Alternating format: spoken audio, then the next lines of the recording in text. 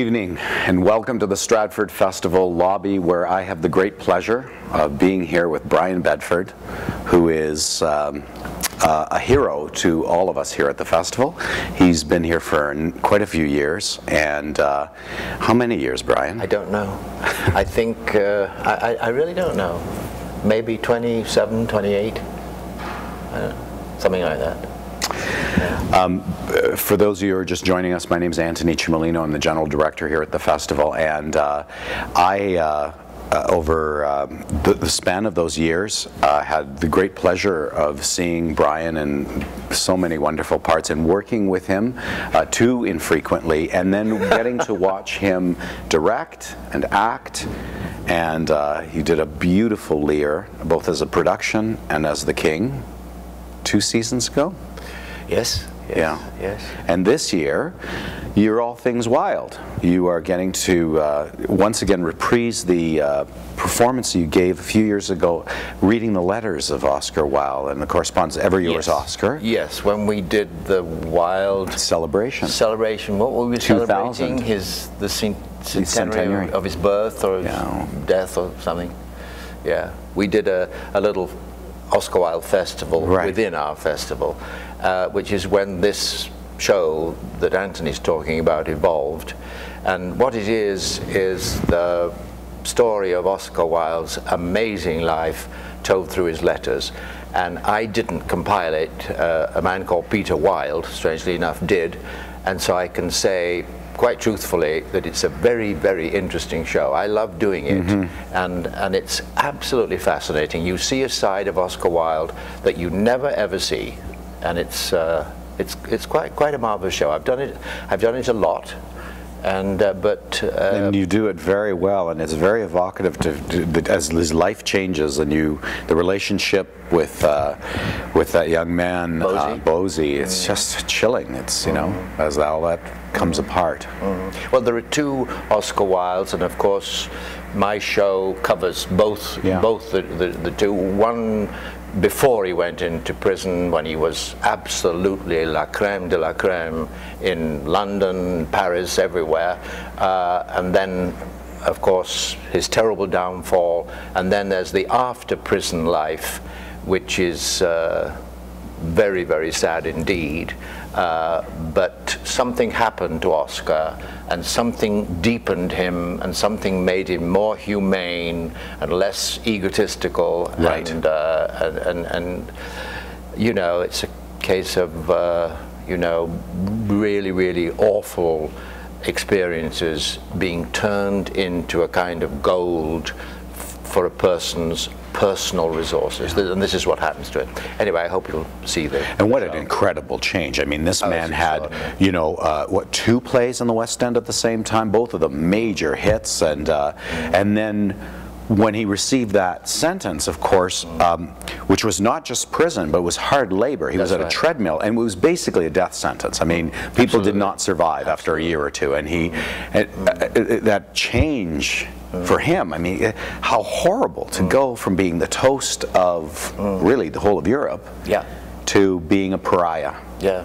And someone they really were trying to kill. Uh, well, the sad thing is he brought it all on himself. Right. As you, as you know. And, uh, but he thought he was, uh, you know, he, he was, uh, he was, you know, the biggest star in the world at that time and he thought he was invulnerable. Right. And he learned a big lesson. Yes, that things can change very quickly. Yeah.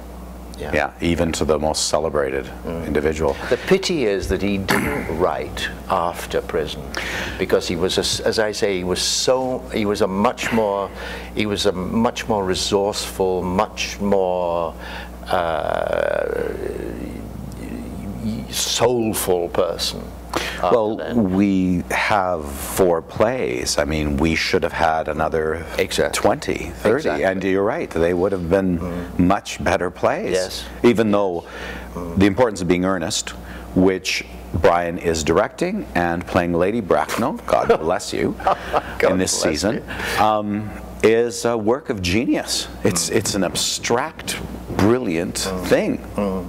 It's, it's indefinable, really, what it is.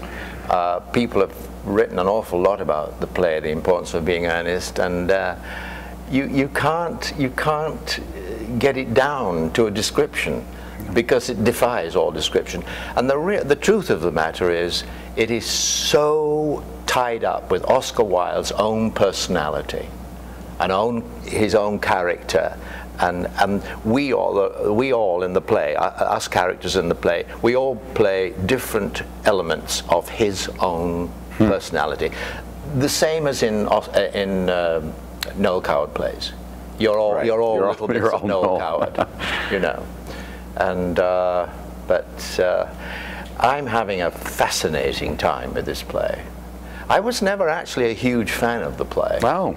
And, uh, you know, I, I, I, I, think it can very easily be tiresome, the play. Just kind of a litany of aphorisms, and you think, oh, please, give us a break.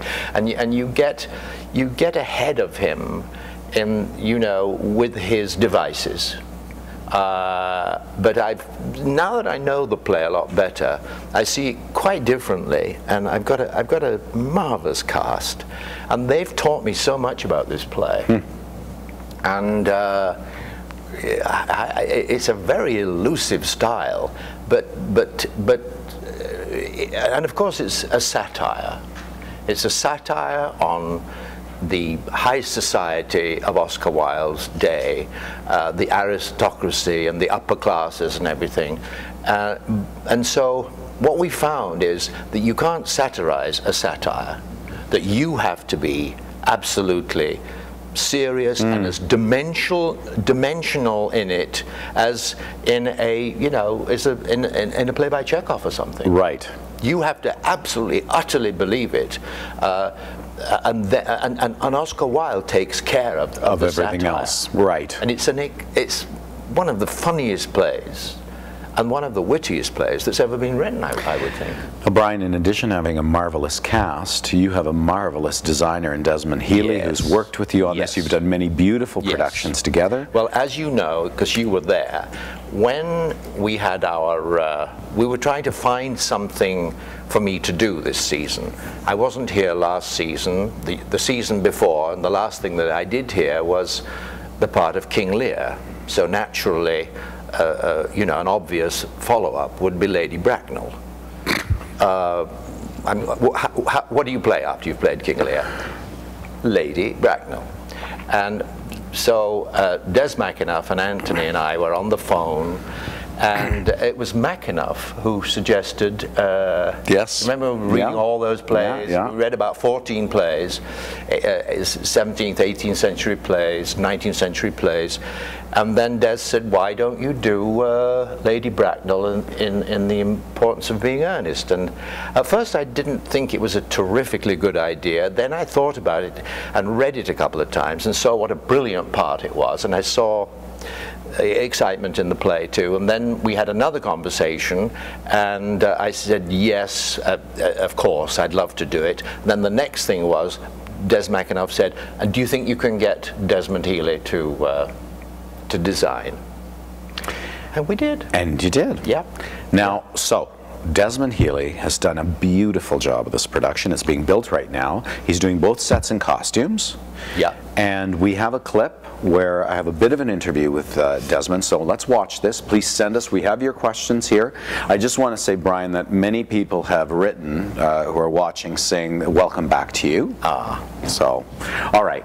Here's a, a brief clip with Desmond Heeley, and then we'll come back and answer your questions with Brian Bedford.